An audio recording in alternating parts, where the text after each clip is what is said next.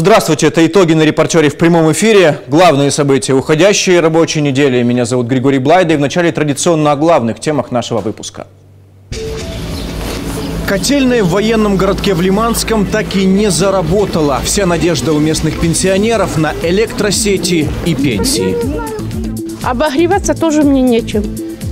Как мне обогреваться? Вот э, сейчас э, конвектор включить, это сколько я за свет буду платить? Коммунальные. Я без копейки. Ритуальные танцы у дома Русова. Пока артисты и художники пытаются спасти умирающий памятник архитектуры, охранники пытаются не пустить на его территорию поджигателей. Было заявлено о том, что вы э, э, охраняете здание от э, проникновения бомжей и прочего. Это правильно? Да. Вы не знаете, охраняете ли вы дом от бомжей? Закон для братьев наших меньших и их хозяев. В Украине станет обязательной сертификация домашних животных. Невозможно остановить поток без контроля за численностью домашних животных. В это воскресенье в Одесской области пройдут выборы. Речь идет об объединенных территориальных громадах. И по старой недоброй традиции избирательная кампания – это время для самых разных, в том числе и грязных, политтехнологий. По информации издания «Таймер», на выборах в Шабовскую территориальную громаду ведется массовый подкуп избирателей. Голоса скупают в одном из магазинов. Цена 400 гривен. Схема расчета 200 сразу и 200 в день голосования. По информации «Таймера» скупают голоса и на выборах в Куяльницкую громаду, которая охватывает весь Подольский район, кроме райцентра. Там за голос дают уже 600 гривен. Я списки завтра, да? Где-то, наверное, или завтра, или послезавтра день. Завтра, послезавтра, а куда подойти? Сюда же. Сюда я, же, я да? позвоню, да. Вы позвоните, чтобы прийти получить Да, денежку. да. А сколько денег будет? Ну, 200 и еще 200 в день После, голосования. после голосования. Прям в день. И в Одессе мало-помалу включают батареи. Отопительный сезон стартовал официально еще в начале этой недели, но первыми традиционно почувствуют тепло воспитанники детских садов, учащиеся одесских школ и пациенты больниц. А вот жильцам многоквартирных домов тепла придется еще немножко подождать и воспользоваться электроприборами. В Одессе до сих пор не решена проблема отопления центра города, где проживает около 300 тысяч человек. Дело в том, что Одесская ТЭЦ находится на стадии банкротства. Городские чиновники уже обратились в Кабмин с просьбой поскорее запустить ее мощности, но ответа так и не последовало. Еще в начале недели мэр Геннадий Труханов провел совещание по этому вопросу, но пока, как видим, эффекта нет. Дома в центре города до сих пор без тепла. Есть проблемы и на Шкодовой горе. Около тысячи местных жителей тоже сидят без тепла. Их котельная относится к нефтеперерабатывающему заводу, который вот-вот будет выставлен на продажу. Словом, ситуация пока не радует, утешает лишь то, что в Одессе пока не очень холодно, да и многие не сильно отчаиваются по поводу холодных батарей. С нынешними тарифами выгоднее отапливаться электричеством. А тем временем отопительный сезон а, в военном городке в Лиманском Разделянского района может и вовсе не начаться. Котельную приграничного населенного пункта еще в прошлом году отключили из-за огромных долгов перед «Нафтогазом». Задолженность достигла уже 5 миллионов гривен. Жители многоэтажек просто не успевают за повышением тарифов. Более половины домов решением сельсовета уже перевели на автономное отопление, но еще 300 квартир по-прежнему зависят от того, заработает ли здешняя котельная. Пока шансы невелики. Оборудование расконсервировать пока никто, похоже, не спешит. Виталий Хемий, прямиком из Раздельнянского района. Пенсионерка Людмила Климова готовится к своей четвертой зиме в Лиманском. Сюда женщина переехала из Тарутинского района. Ее дом затопило в результате небывалого за последние полстолетия наводнения. Деньги на новое жилье Людмиле Григорьевне выделило государство. Почему выбрали именно тогда Лиманское? Думали здесь... Потому что здесь было тепло. Я покупала, когда меня затопило в Одесской области Березино. И я купила квартиру. А приехала, и что я получила здесь? В холоде сижу. В военном городке в Лиманском 43 дома разной этажности для 300 жителей, подавляющее большинство из которых пенсионеры, проблема отопления далеко не решена. В отопительный сезон эти люди входят с тревогой и, возможно, напрасными ожиданиями.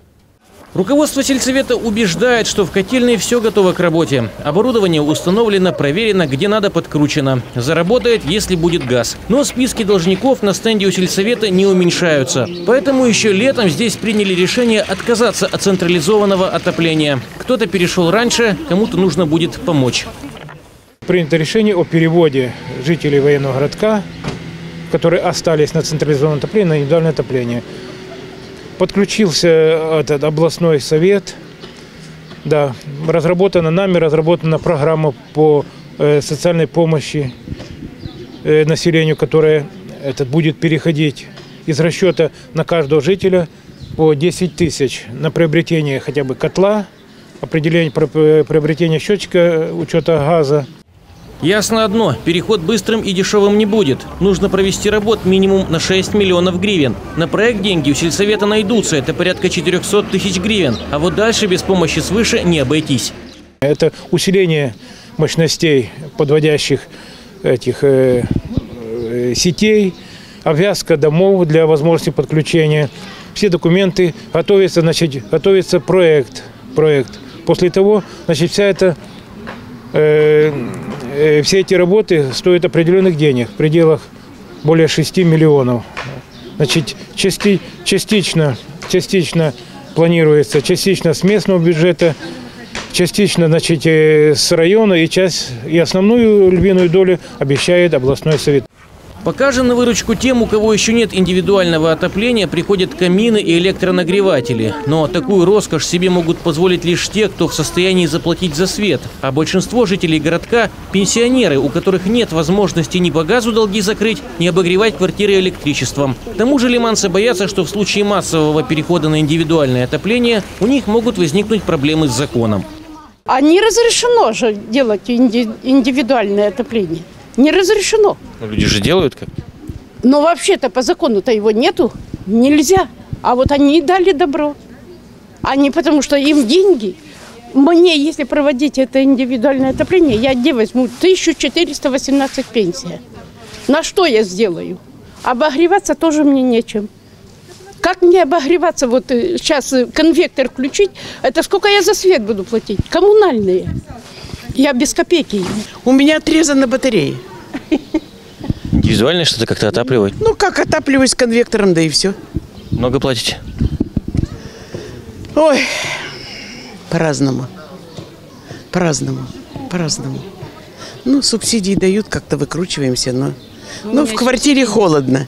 Если бы было настоящее тепло, было бы тепло. Как будто непонятно, что тарифы выше крыши. Все платежи э, ЖЭКовские сделали так, что уже за горло захватили.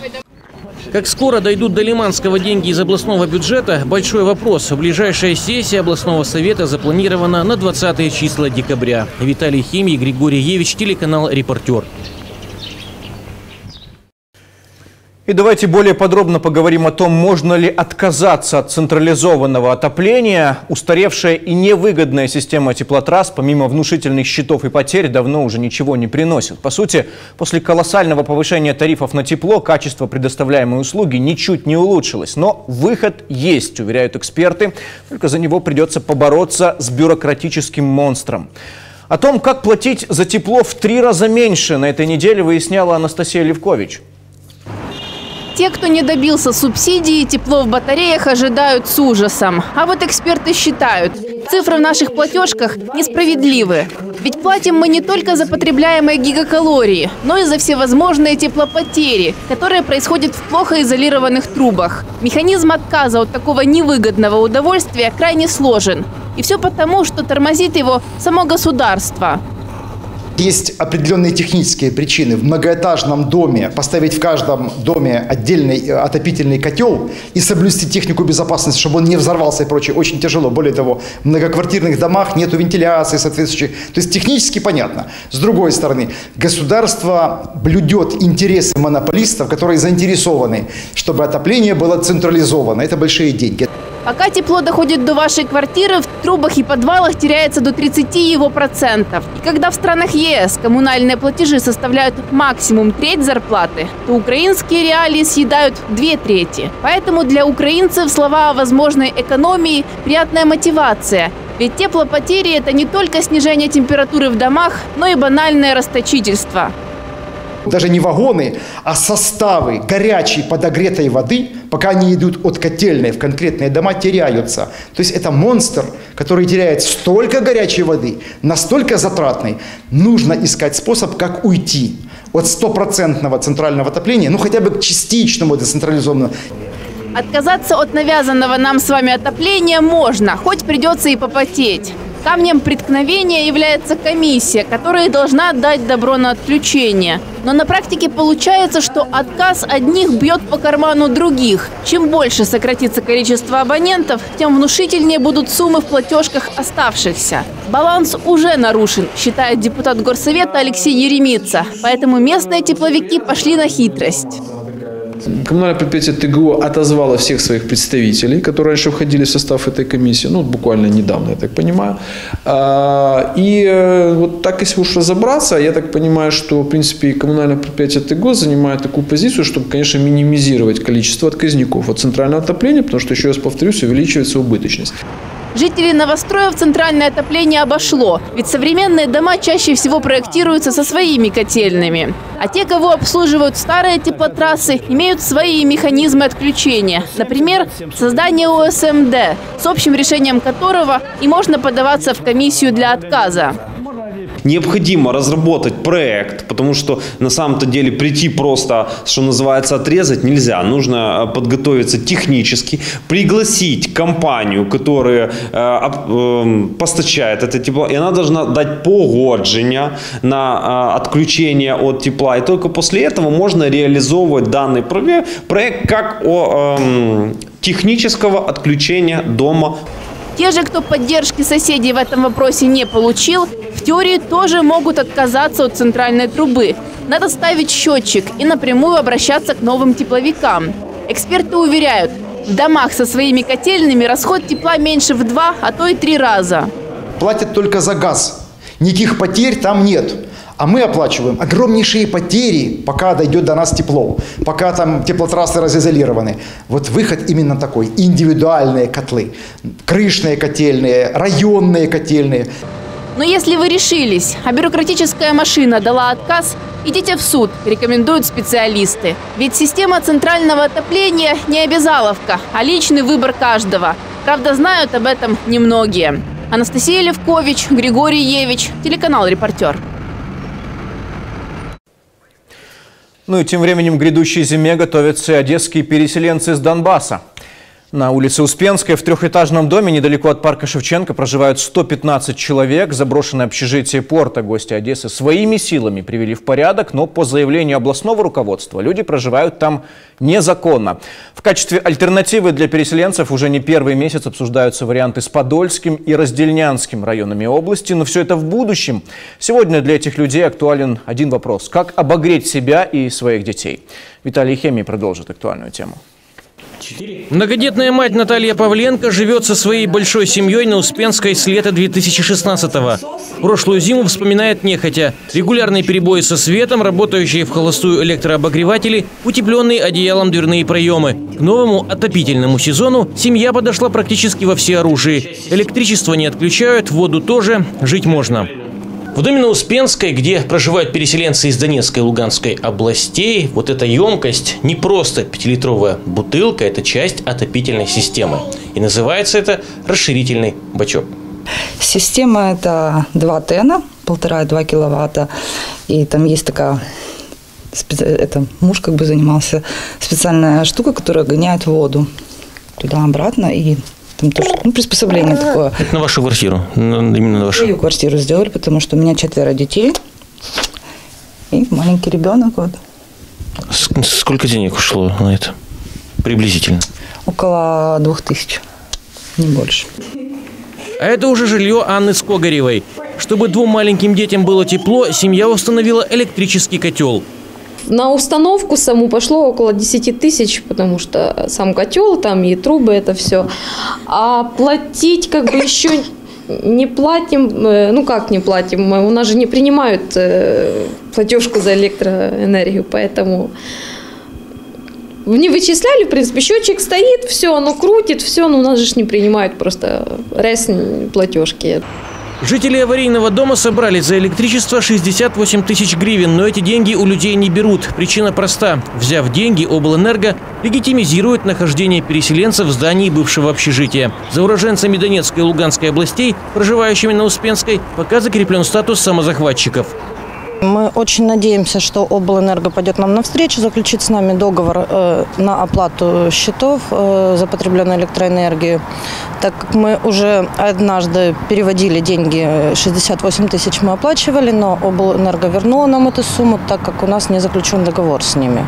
Они обещали, что заключат с нами договор поручительства на оплату, но сказали, что пока нет возможности.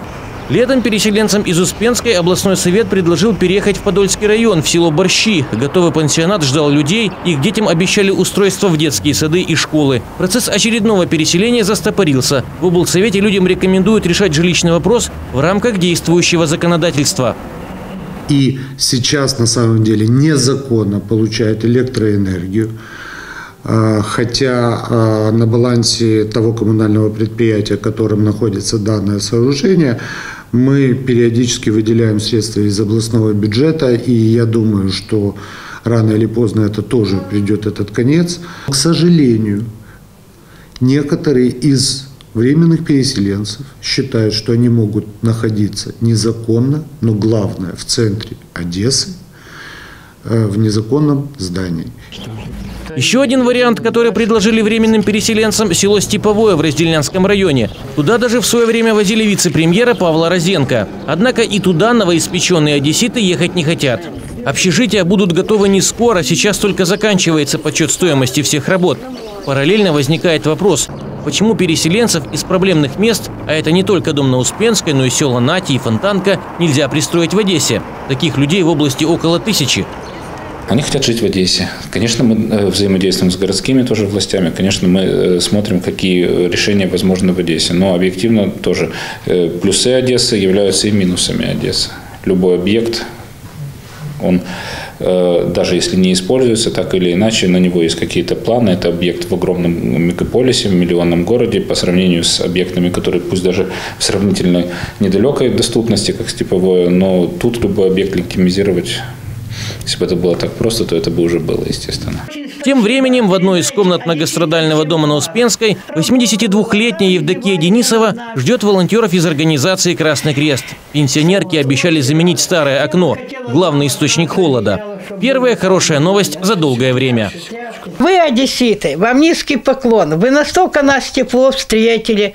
Вы делились с нами, давали жилье нам, жили мы. Ну, потом пенсию газ подняли цены, пенсии не стало хватить, мы захватили здание. Но единственная просьба, не выгоняйте. Война кончится, мы разберемся, кому чего надо. Виталий Хемий, Григорий Евич, телеканал «Репортер». И настоящее социологическое сражение состоялось в Украине на этой неделе. В медиапространство были одновременно вброшены результаты сразу нескольких социологических исследований, проведенных организациями, изучающими общественное мнение. Большинство соцопросов касались политических предпочтений украинцев, имелись в виду и партии, и их лидеры, как потенциальные кандидаты грядущей президентской гонки. Политологи в одночасье заговорили о негласном старте избирательной кампании в стране. Мы сознательно не будем оглашать результаты этих исследований, поскольку они сильно отличаются друг от друга и, по нашему убеждению, являются ничем иным, как простым политтехнологическим ходом.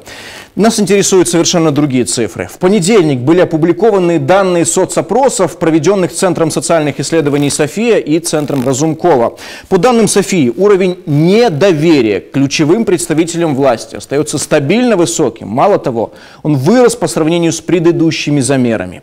79% респондентов критически в той или иной степени оценивают действия президента Петра Порошенко. Любопытно, что в сентябре количество его критиков было менее 75%. При этом число тех, кто полностью одобрял или скорее одобрял работу главы государства, тоже уменьшилось с 21,5% в сентябре до более 13% сегодня. Целиком соглашаются с политикой президента лишь чуть более полутора процентов опрошенных.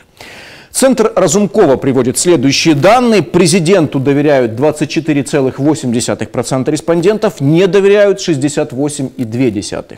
Также социологи из Центра Разумкова зафиксировали уровень недоверия к правительству – 73%, доверие – почти 20%.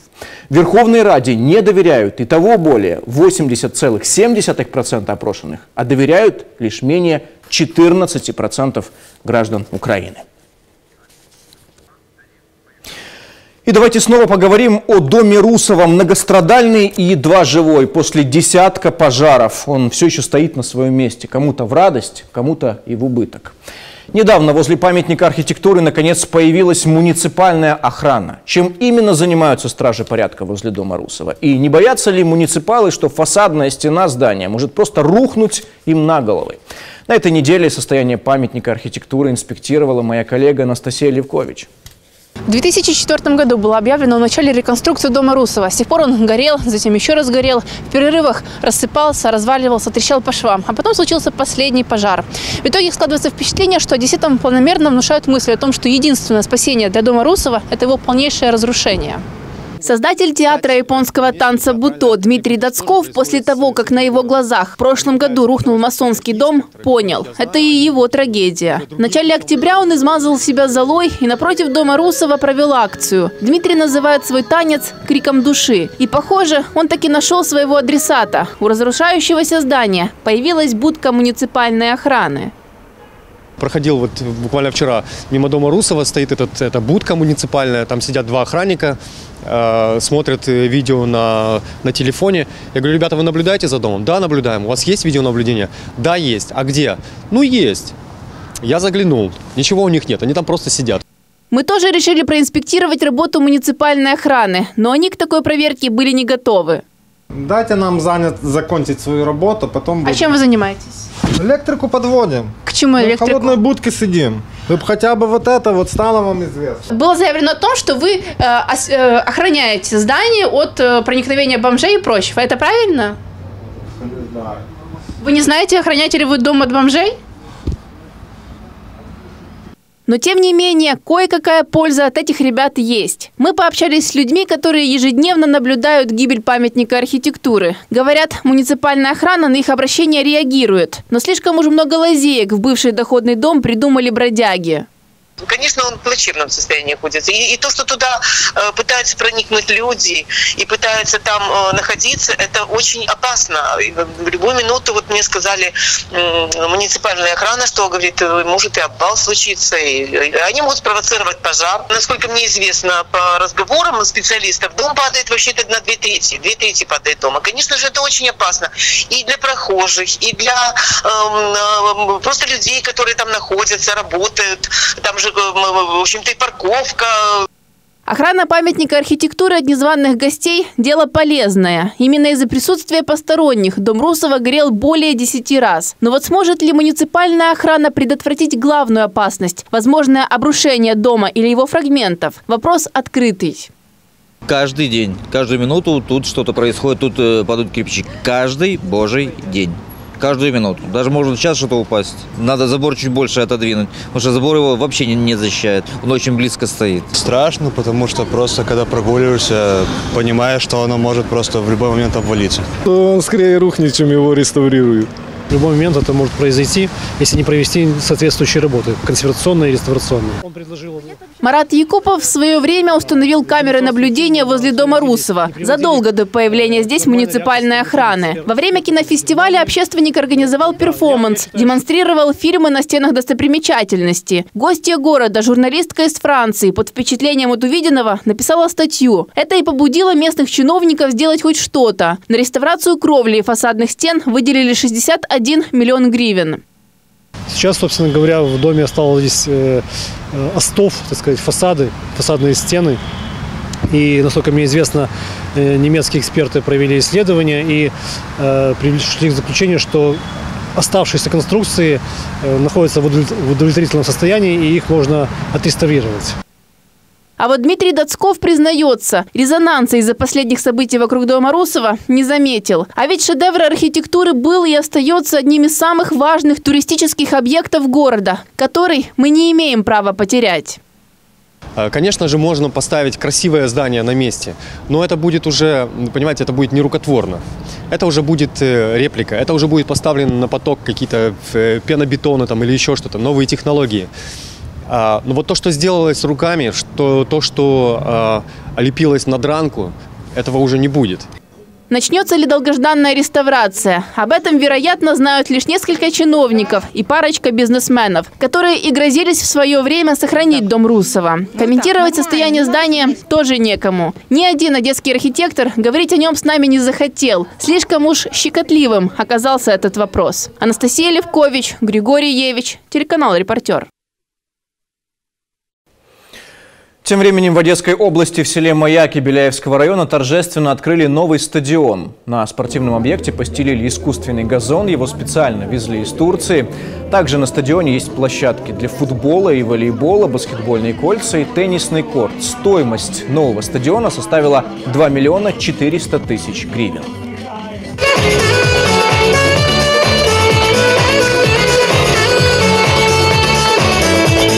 Три бюджета державний, обласний та місцевий надали можливість нам бути присутнім сьогодні на відкритті цього прекрасного спортивного закладу.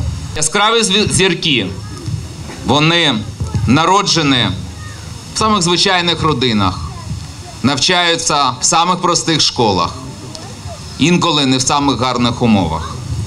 Але діє закон. Талант розкривається всупереч. І я впевнений, що в цьому, на цьому спортивному стадіоні, на цьому спортивному закладі ми будемо вітати світових зірок. Світових зірок, які будуть прославлятимуть нашу Україну.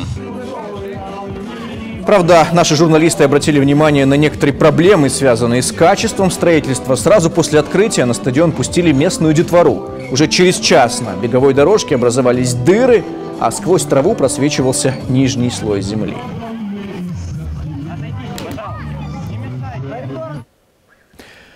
На повестке недели и тема защиты прав животных. Новый виток обсуждений появился после предложенного депутатами законопроекта номер 7220. В нем идет речь о поголовной регистрации животных и обязательной их стерилизации. Также законопроект предусматривает большие штрафы, нежели существуют сейчас за издевательство над животными. В случае, если законопроект примут, то для его вступления в силу необходимо 4 месяца. Реальные сроки внедрения и потенциальные последствия уже знает моя коллега Вероника Годяцкая. Содержать животное с большей ответственностью, как моральной, так и финансовой. Ведь не только усы, лапы и хвост – документы. Депутаты предлагают внедрить поголовную регистрацию кошек и собак. Процедура обойдется в среднем в 170 гривен. Бездомных животных предлагают чипировать за счет местных бюджетов. Невозможно остановить поток без контроля за численностью домашних животных. Обязательной, согласно законопроекту, становится и стерилизация животных, кроме породистых, на разведение которых необходимо будет иметь лицензию. Стерилизация собаки может стоить в среднем тысячу гривен, операция кошки дешевле – от 600. У очень многих пород собак э, есть такая опасность, как и ложные беременности, и есть опасность онкологических заболеваний. Поэтому стерилизованные животные, они в этом отношении значительно здоровее. Стерилизовать значит улучшать качество жизни, уверены зоозащитники. Такой шаг, по их мнению, помог бы уменьшить поголовье бездомных животных, которые бесконтрольно размножаются. Больше 80% бездомных животных – это как раз бывшие домашние животные или их приплод. Но силу каждый видит в своих методах. Член депутатской комиссии по вопросам экологии Александр Иваницкий утверждает, что популяция бездомных собак в Одессе и так сократилась благодаря городской программе. А законопроект, по его мнению, создаст багаж крупных обязательств и финансовую ношу. Программа стерилизации животных у нас сегодня находится на высочайшем уровне. Э, Когда начиналась программа, у нас количество животных, э, собак в городе Одессе превышало 70 тысяч. На сегодняшний день э, у нас было в начале 2017 года проведена, проведен пересчет и показали, данные показали наличие 5 тысяч э, беспризорных животных. Еще одно ноу-хау – обязательное посещение ветеринарной клиники не реже одного раза в три года. Кроме того, о переезде с питомцем необходимо заранее уведомлять ветеринарную службу. Ее, правда, надо будет еще создать. На государственной основе, будут создаваться такие службы, и мы будем иметь к ним доступ постоянный. Я думаю, что это не будет э, какой-то сложностью пойти и зарегистрировать собаку, вернее, отметить, что она уезжает на длительное время. Захоронение питомца в огороде или отсутствие утилизации станут вне закона. Останки животных должны будут покоиться на специальных кладбищах или сжигаться в крематориях. Незначительное уточнение. Их создание обязан обеспечить город. Последнее время принимаются такие законопроекты, которые действительно э, нагружают, так скажем, местную власть на те или иные мероприятия, пункты передержки и, в общем-то, все сопутствующие с этим э, моменты, то, наверное, для города Одессы, еще раз повторюсь, эта проблема не есть актуальной. Платить по полной. Еще один принцип законопроекта. Минимальный штраф 340 гривен. Предусматривается за продажу котов и собак с рук без документов. Сумма максимального штрафа 20 400 гривен за повторный отказ от стерилизации животного или, например, их использование попрошайками. Не убрал экскременты собаки, первый раз заплатишь 850 гривен. Я однозначно за. По принципу убирайте за своей собакой, не будете платить штраф. Не нарушайте законодательство, не будете оплачивать штраф. Маленькие штрафы, они не останавливают. Мы уже пришли к этому выводу, что человек, а, не поймают, а если поймают, 18 гривен, 50 гривен, не деньги. Большие штрафы, они все-таки позволяют задуматься, и они будут тормозом. То есть, если у человека не хватает сознательности, то у него будет побеждать жадность к деньгам.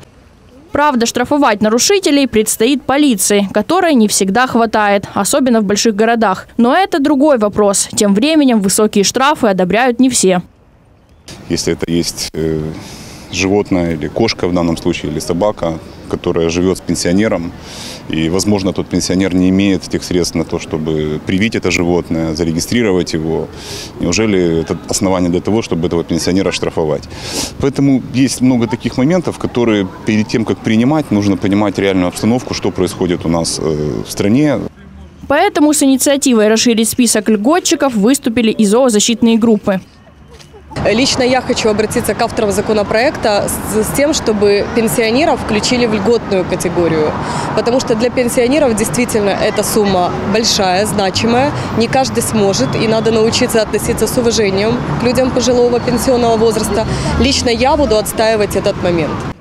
Есть и требования к инфраструктуре, ведь для уборки тех же отходов в минимальной доступности для людей должны находиться пакетики. Такие стойки в некоторых парках есть, но они почти всегда пусты часть вот подобных э, сооружений расставили в разных районах города.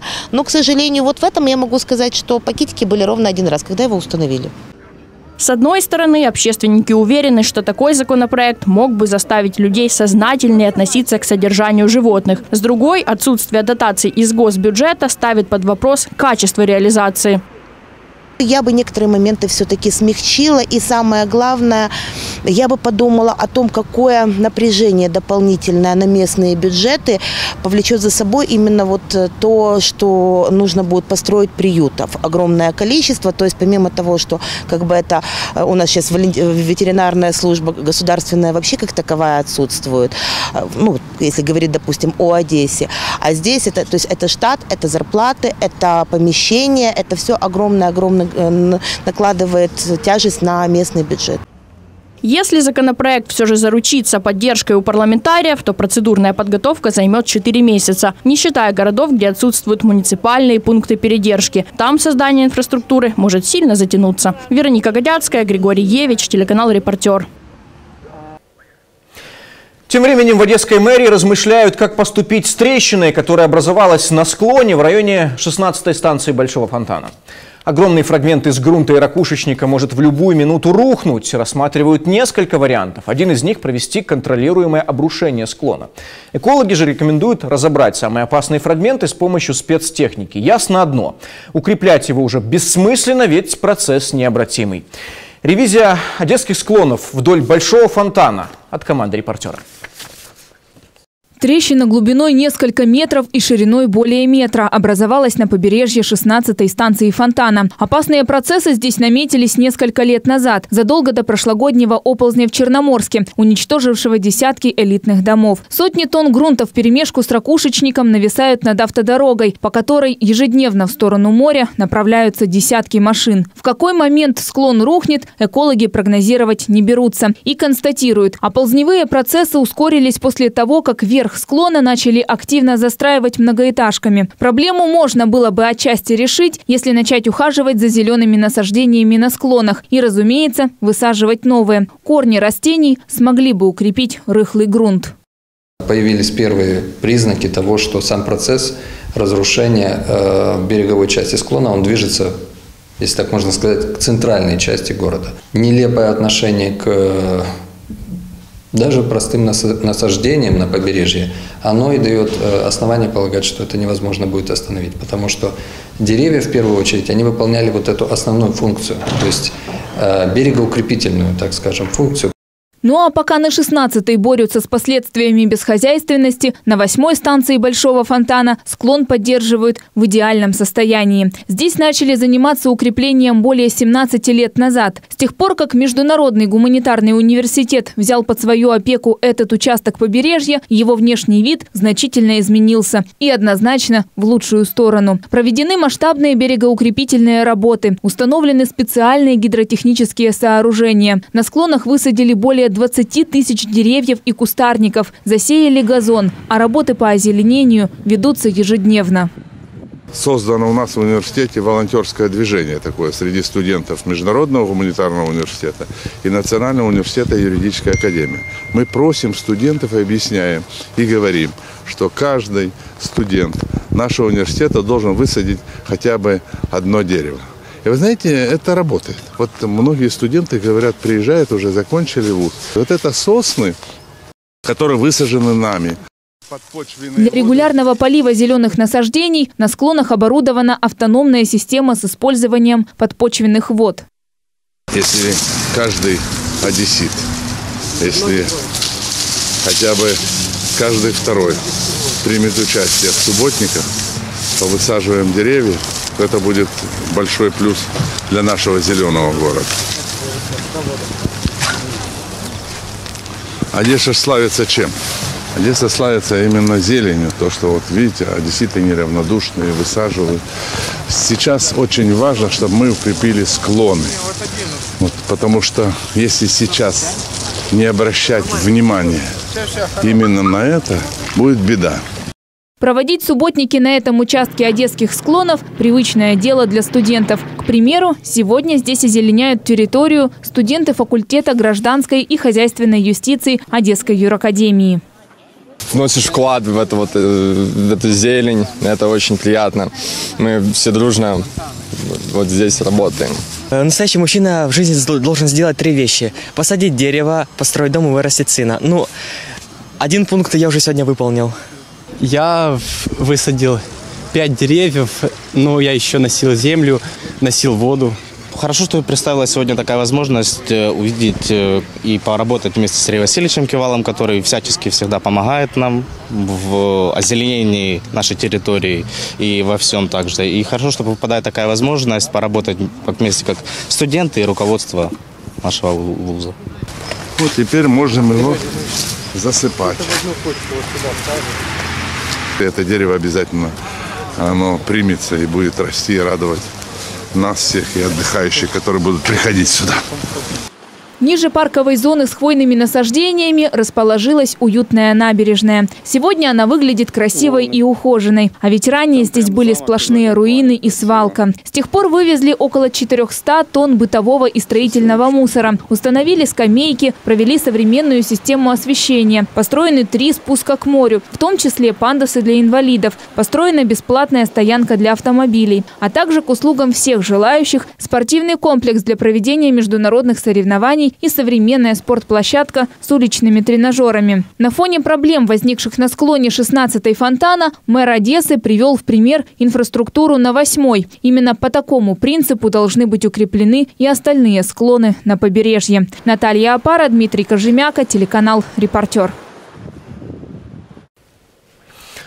И в ночь с субботы на воскресенье не забудьте перевести стрелки часов на один час назад. Украина снова переходит на зимнее время ровно в 4 часа утра 29 октября. Так что у любителей поспорить появился еще один повод обсудить. Что же лучше, проблемы со здоровьем или экономия электроэнергии? Всего в мире осталось э, не более 80 государств, которые до сих пор переводят стрелки часов. Не переходят на зимнее время уже Япония, Индия, Китай, Сингапур и большинство стран Советского Союза, в том числе и Россия.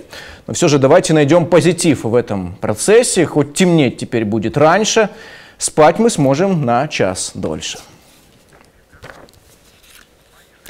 Далее, как всегда, блоки международных и украинских новостей. Оставайтесь с репортером, не переключайтесь, с нами интересно.